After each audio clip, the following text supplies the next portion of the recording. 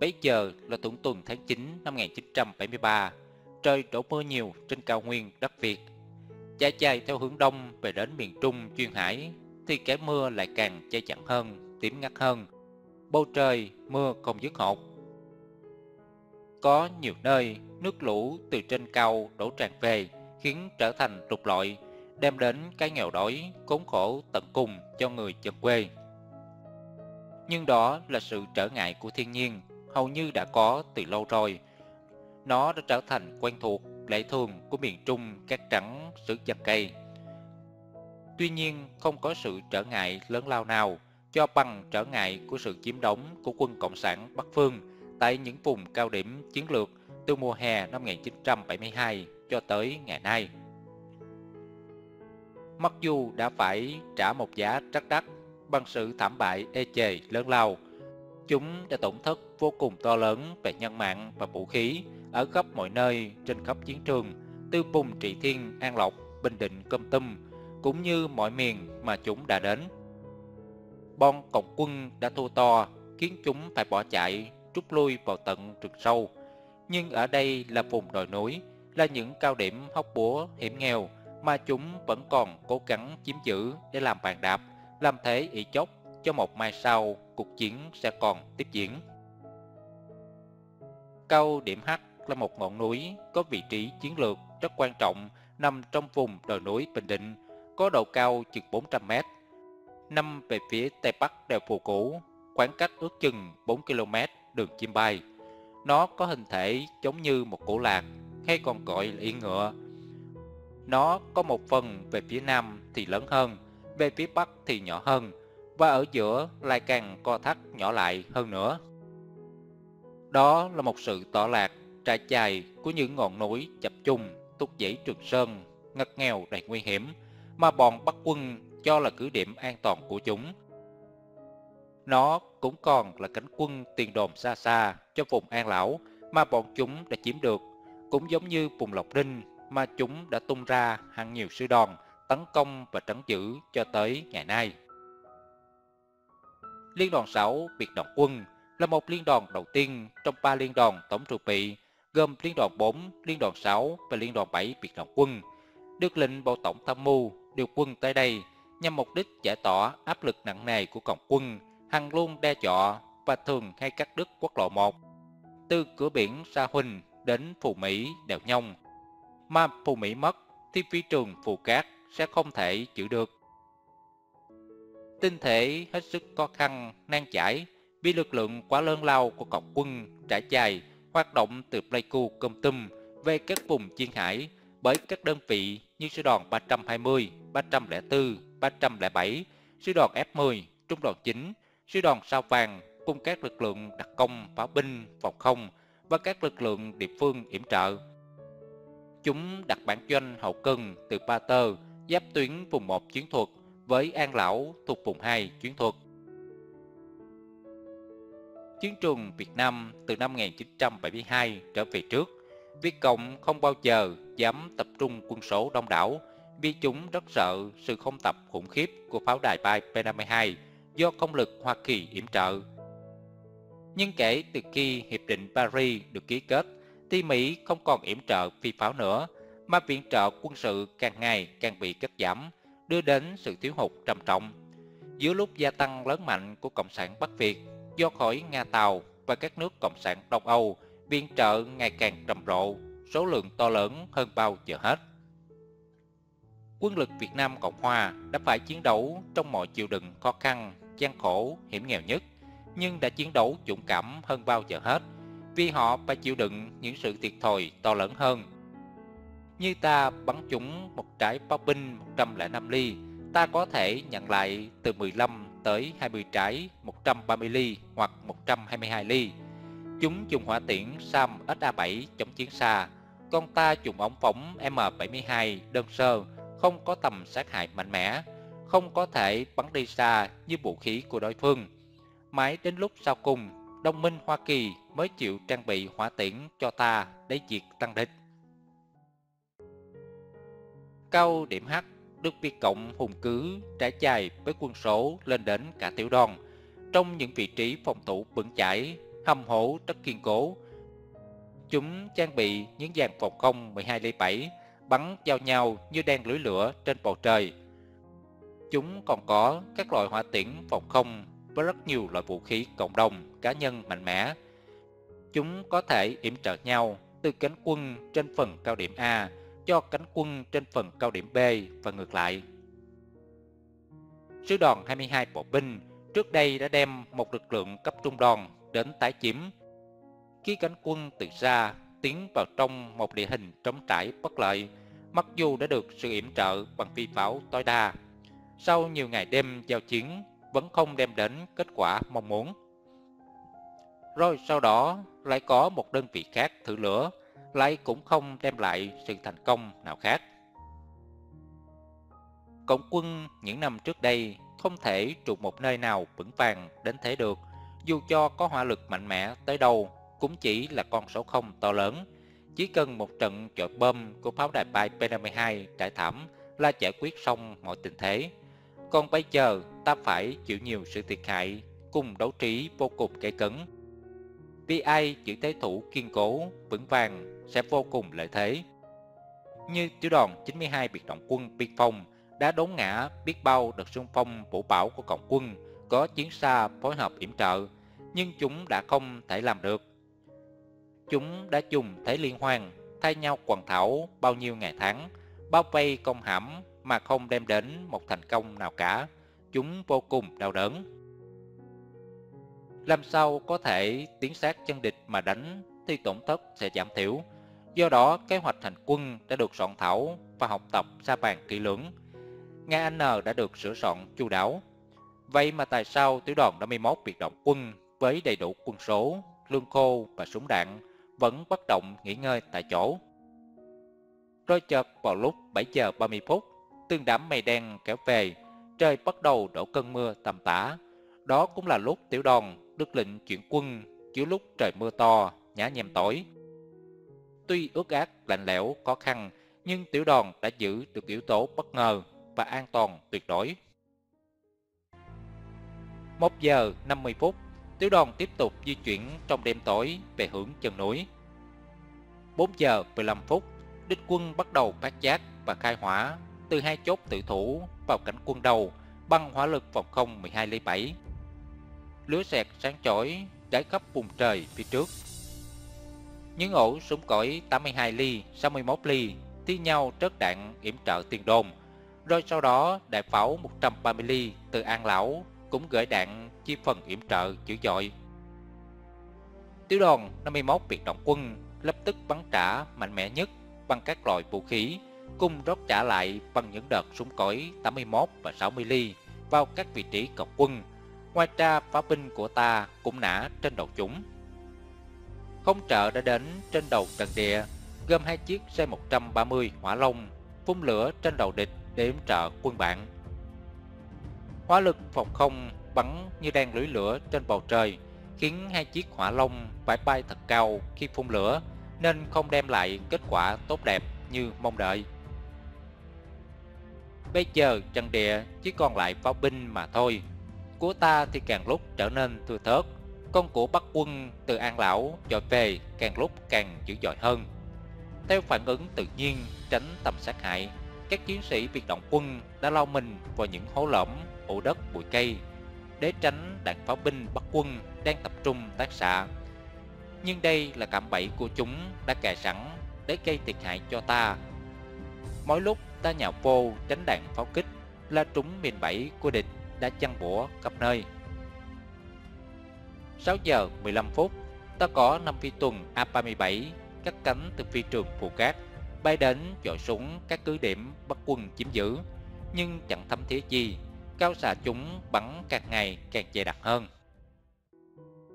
Tiểu đoàn được lệnh lưu quân lại thật mau khi trời còn chưa sáng tỏ để bảo toàn lực lượng và tìm kế hoạch khác. Tiểu đoàn 51 biệt động quân tiết hại 15 tử thương và 28 khác bị thương do hai cánh quân đi đầu của đại đội 1 và đại đội 4 hứng chịu những sự thiệt hại thảm khốc. Tiểu đoàn được lệnh rút quân xa, tạm thời độc quân tại chỗ, đồng thời nghiên cứu tìm kế hoạch khác đối phó với chiến trường học búa gian hiểm này. Tiểu đoàn 51 biệt động quân được hoán chuyển với một tiểu đoàn biệt động quân khác, di chuyển về đèo Phù Cũ để chuẩn bị bước tiến kế tiếp. Trong buổi họp với Bộ Chỉ huy Tham mưu Liên đoàn 6 biệt động quân, dưới sự chủ tọa của Liên đoàn trưởng Liên đoàn 6 biệt động quân, được diễn ra trong bầu không khí hào hứng và quyết chiến. Đặc biệt, Đại úy Động Kim Quang, tiểu đoàn phó tiểu đoàn 51 biệt động quân đã đưa ra sáng kiến với kinh nghiệm tu thập trong cuộc đời binh nghiệp được trôi chèn bằng mồ hôi, nước mắt và máu của anh với kế hoạch đột kích trong lòng địch và chiến thuật đặc công tạo sự bất ngờ lấy kế địch làm kế ta. Kế hoạch đã nhận được sự hưởng ứng nhiệt liệt của toàn thể mọi người trong buổi họp hôm đó. 80. Danh hiệu truyền tin của đại quý Động Kim Quang đã thi hành kế hoạch, đã tung ra hai tổ trinh sát. Tổ trinh sát mồi, tổ gồm 5 người, do một người làm tổ trưởng dẫn đầu, được trang bị súng AK-47, mũ tay bèo, đế dép bình trị thiên, lâm bằng vỏ lớp ô tô như Việt Cộng. Họ cam hiệu riêng để nhận chuyện nhau. Tổ trinh sát tiểu đoàn 5 biệt Động quân được huấn luyện về biển thám kỹ lưỡng nên họ di chuyển rất nhẹ nhàng kín đáo, quyển chuyển khéo léo do nghề nghiệp vững chãi của các mũ nâu biệt thám. Mỗi tổ có nhiệm vụ cho thám, điều nghiên thu thập tin tức đối phương. Hai tổ trinh sát được tung ra hoạt động.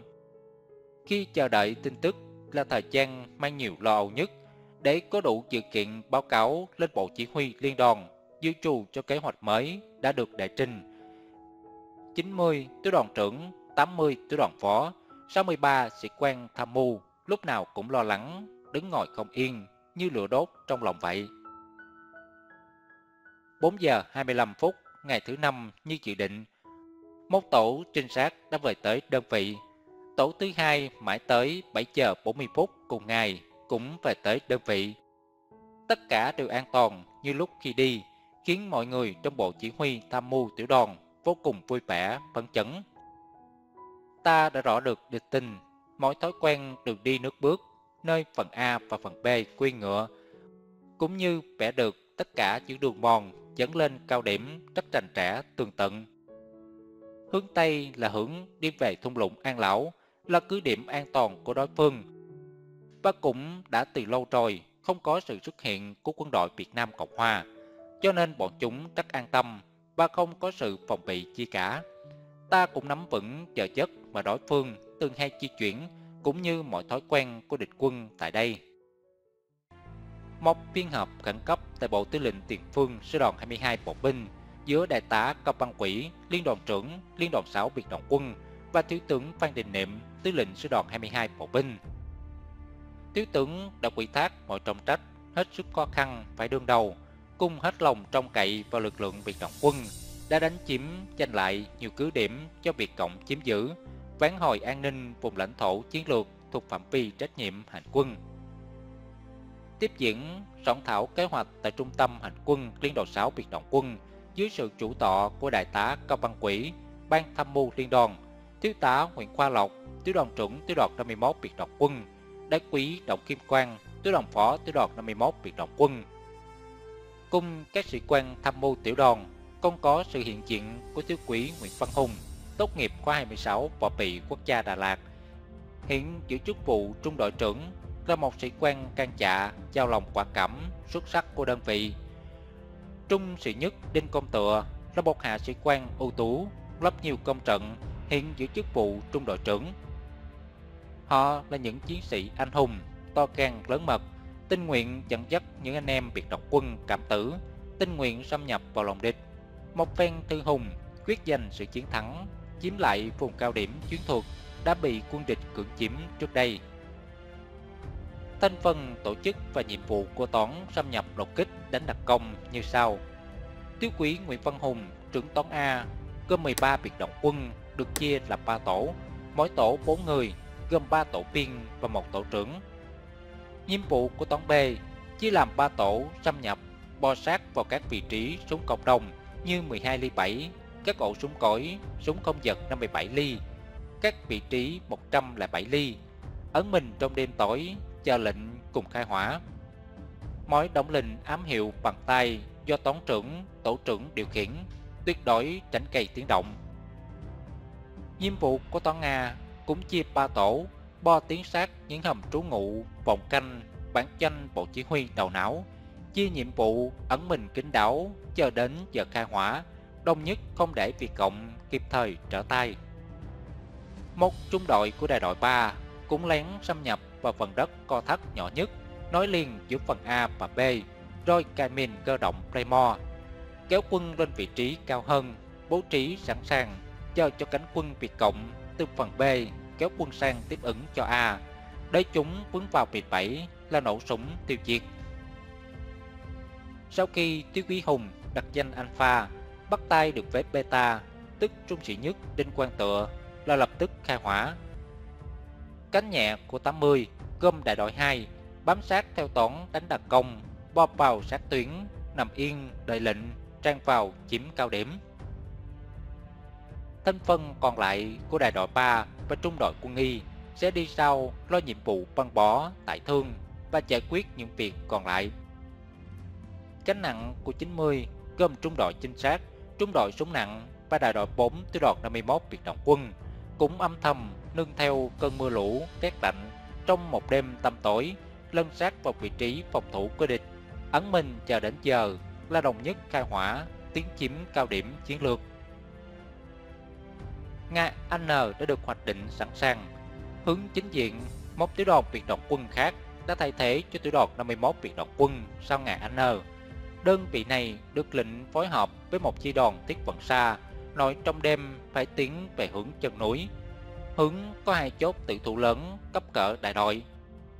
Năm chờ tại đây cho đến khi nào tiểu đoàn 51 biệt Động quân nổ súng đánh đột kích trên cao điểm là tùng thiết bằng mọi giá tiêu diệt hai chốt tự thủ này.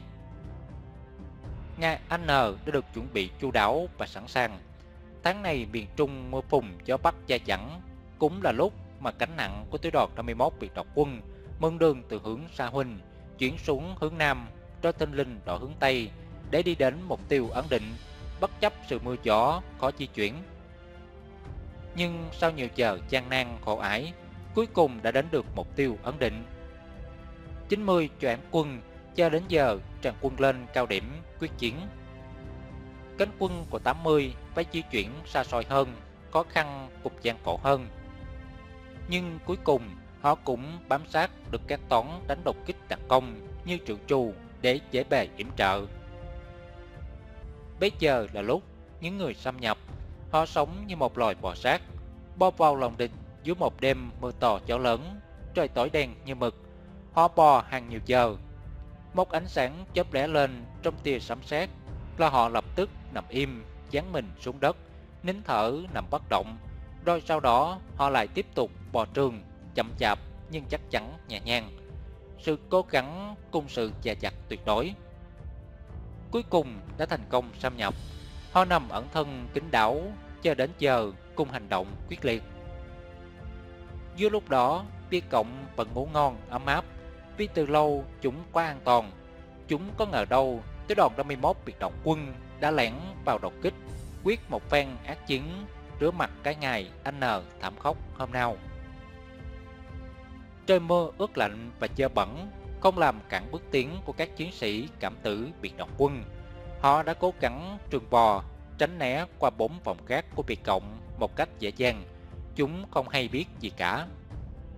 Chúng đang ngồi quấn chân ngang cổ dưới mái chè ấm áp. Có lẽ chúng đang mơ màng trong tiếng nhạc mưa rơi, đang liên tục tấu chuyện liên hồi.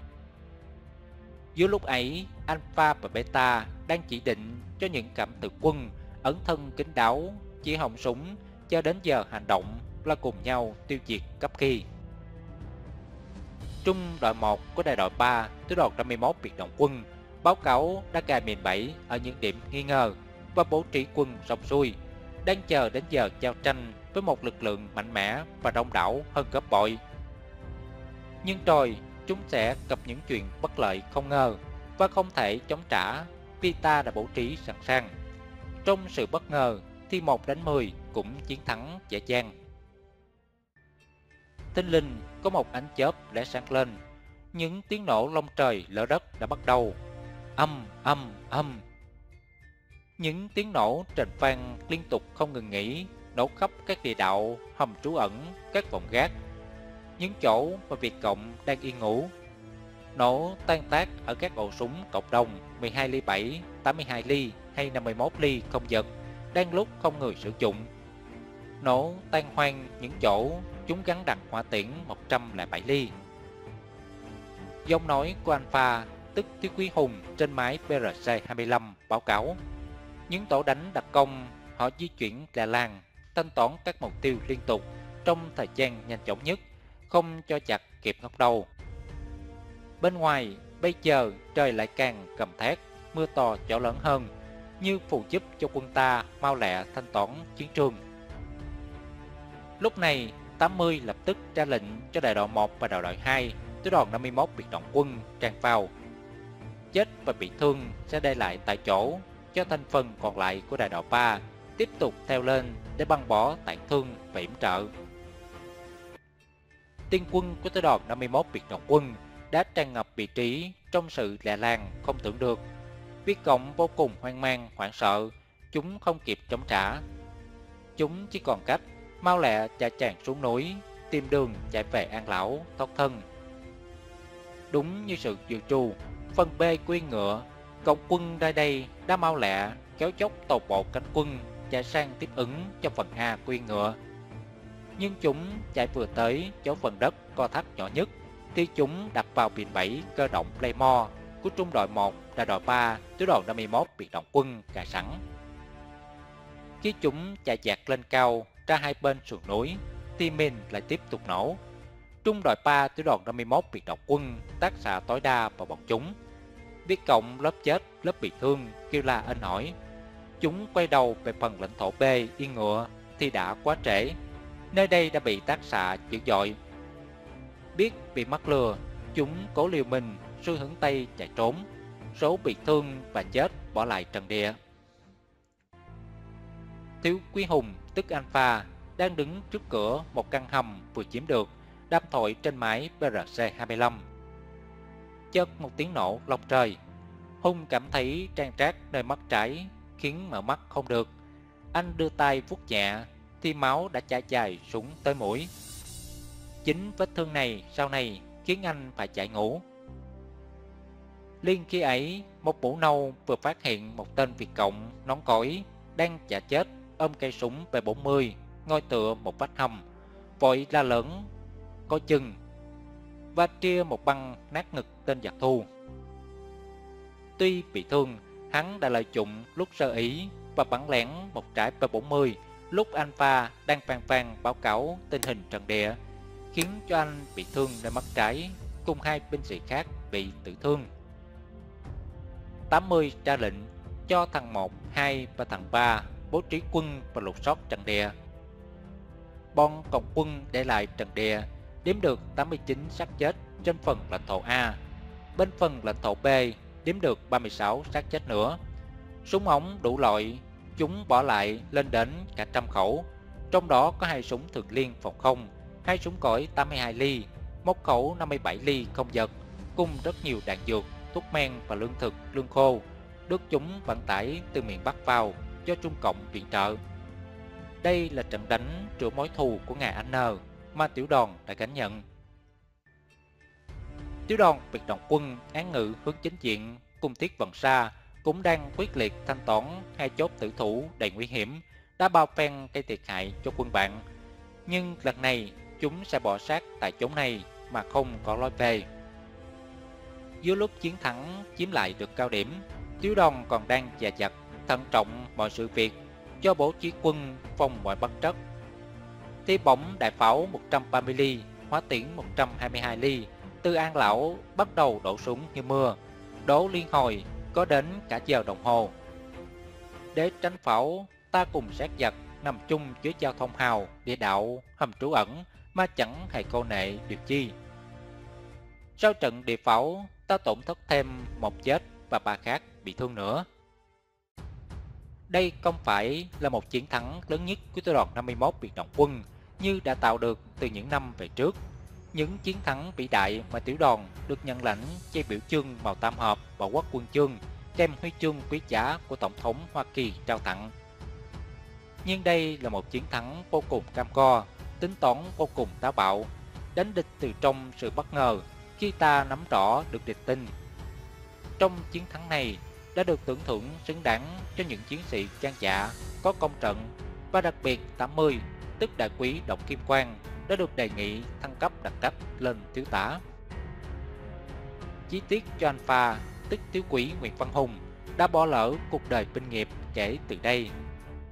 Anh đã khóc hết nước mắt và cũng kể từ đây anh không còn có dịp thi tố tài năng cùng thi can trai đời hùng cường nơi chiến trận nữa. Anh đã không may vỡ mắt trái.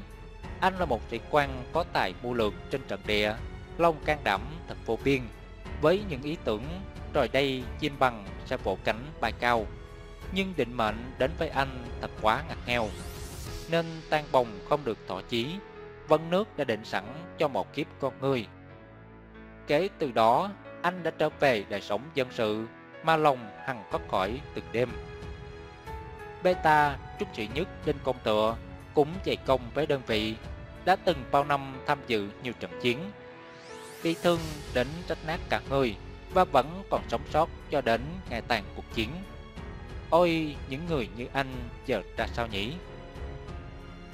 80 như được trời phú cho lòng can đảm và mưu lược, được các cấp vô cùng tin tưởng, anh em đồng đội tình yêu. Anh đã đệ trình biết bao kế hoạch và đã thành công chiến thắng mà giờ này thì thân xác anh cũng đã trở về với các bụi. Anh đã ra đi trong trận chiến sau cùng ở Khánh Dương khi cùng quân lữ đoàn 3 nhảy dù đấu với cả sư đoàn 316 và 320 Việt Cộng. Nhưng linh hồn anh chắc chắn vẫn còn ẩn hiện đâu đây trên những dãy núi đồi, trượt sơn, gió ngàn bát ngát hay trên quê hương mà chúng tôi mãi còn ghi nhớ về hình bóng anh và các đồng đội đã nằm xuống cho xứ sở được những lúc an lành.